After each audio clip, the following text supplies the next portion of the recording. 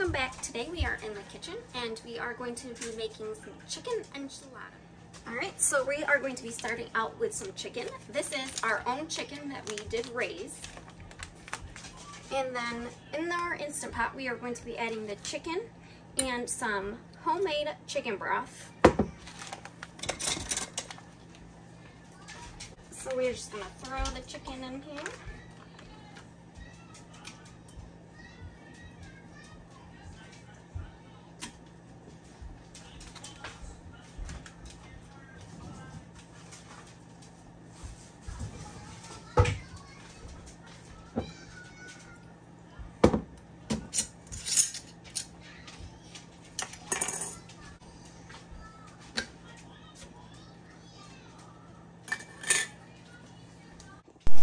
And we are adding one cup of chicken broth.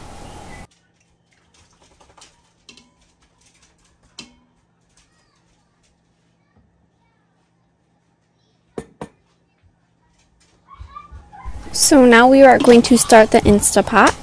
We are going to set this on pressure cook for 25 minutes.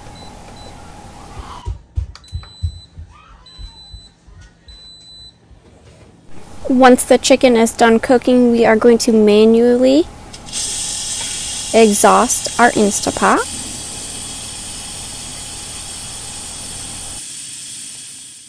And then we are going to add the chicken to a bowl and shred up this chicken.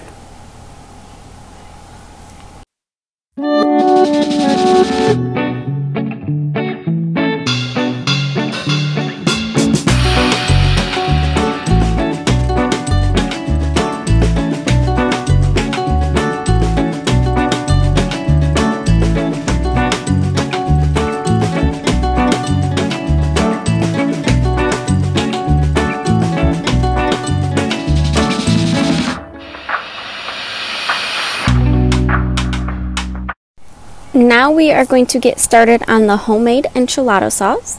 So we are going to start off with one small onion and we're going to want to dice that up. So I'm just getting my Instant Pot started. So I'm going to put my Instant Pot on saute. And you are going to want to add some oil in the bottom of your Instant Pot.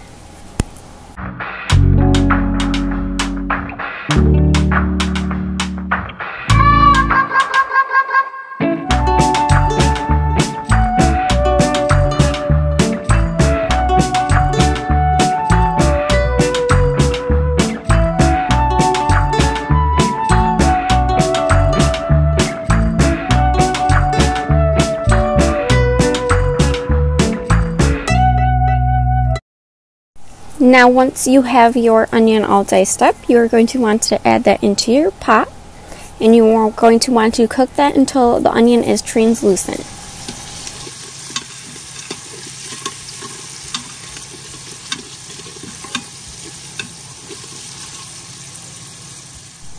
So while our onion is cooking, we are going to go back onto our chicken filling mixture.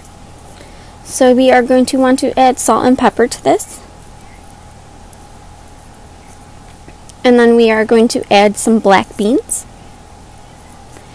And I am adding some of our home canned jalapenos. We don't like our food spicy, so I just added a few of these jalapenos. You can add as many as you would like to your preference.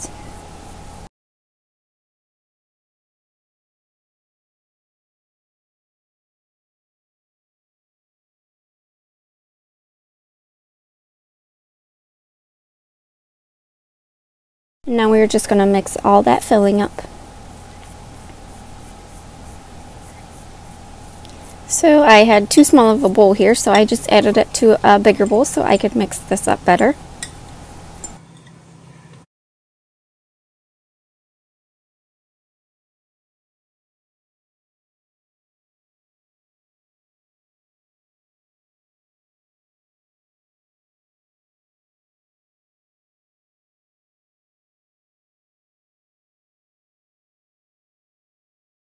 Alright, so now we are going back to our enchilada sauce and I am going to be adding some cumin and some chili powder.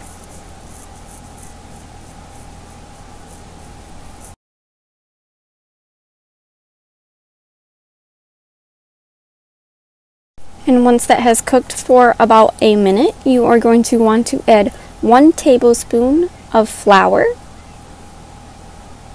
And you are going to just mix that in.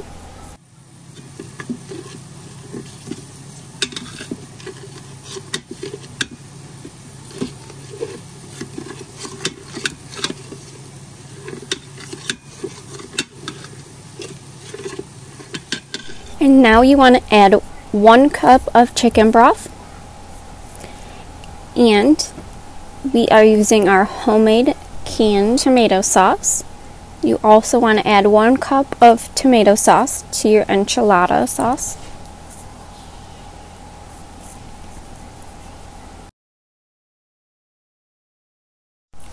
And you're going to want to bring that to a simmer and stir occasionally for five minutes. So once the sauce is done cooking, at this point you can put your sauce into a blender to make it smooth, but I opted out of that. So now you are going to take half of a cup of the enchilada sauce and put it on the bottom of your 13 by 9 baking pan. And then you are going to want to put half a cup of the sauce into your chicken mixture. And you're just going to want to mix that in with your chicken mixture.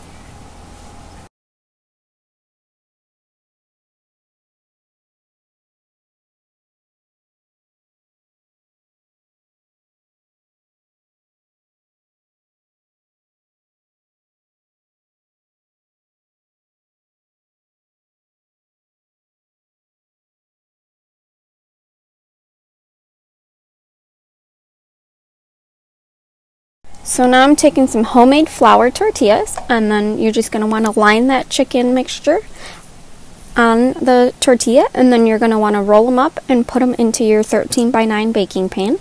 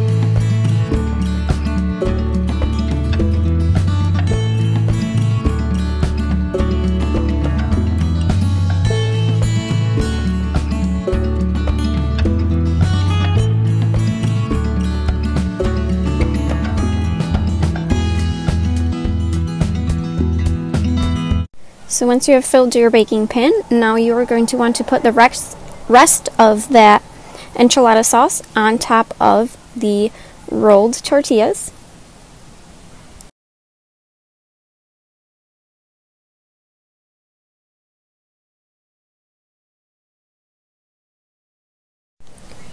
So now you are going to want to top your rolled tortillas with some cheese I'm using mozzarella cheese because that's what I had on hand, but you can use pretty much any type of cheese that you prefer. And now you are going to bake these in your oven at 350 for 25 minutes.